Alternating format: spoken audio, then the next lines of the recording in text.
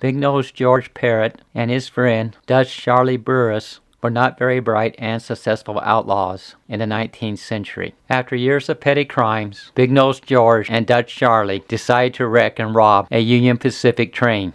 The plan was to loosen a railroad spike, wrap it with telegraph wire, wait for a train, and then pull the spike out, causing a derailment. A good plan on paper. When out of the blue, a section crew quickly showed up and repaired the damage. After fixing the vandalism, the railroad workers promptly notified law enforcement about the sabotage near Medicine Bow River. Soon, County Sheriff Deputy Robert Littlefield and Union Pacific Detective Henry Vincent tracked the criminals down and found them about 25 miles away from the attempted robbery. Unfortunately, the ruffians had set up an ambush in Rattlesnake Canyon near Elk Mountain. After gunning the two lawmen down, the outlaws fled to Montana.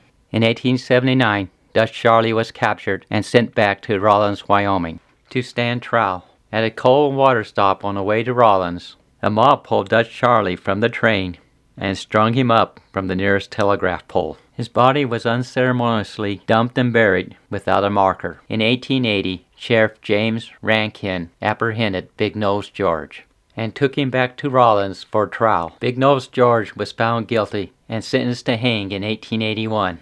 After staging an unsuccessful jailbreak, an enraged rabble of townsfolk dragged Big Nose George to the nearest telegraph pole and tried to string him up. Due to the weight of his shackles, the rope broke. Even with Big Nose George screaming for mercy or a quick death, the mob put another rope around his neck, dragged him up a 15 foot ladder until he choked to death. Dr. John Osborne and Dr. Thomas Maghee claimed the body. Believing Big Nose George's brain was abnormal, he wanted to study it.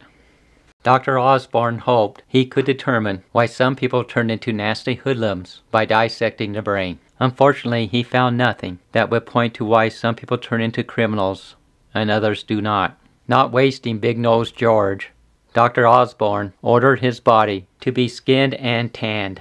Next, Dr. Osborne had shoes and a medical bag made out of Big Nose George's hide. Before throwing what was left of Big Nose George into a whiskey barrel, he gave the skull cap to his young 16 year old assistant, Lillian Heath, Throughout the years, she used it as a pen holder, ashtray, and doorstop. Big Nose George remained buried in his whiskey barrel until 1950.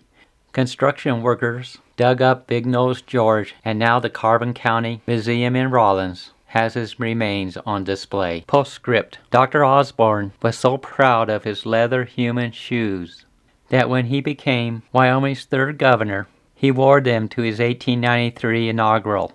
Lillian Heath grew up and became Wyoming's first female doctor in 1893. Thanks for watching.